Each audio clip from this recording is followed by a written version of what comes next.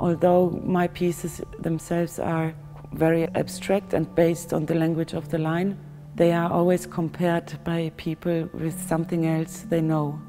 something else around them, something else in the landscape.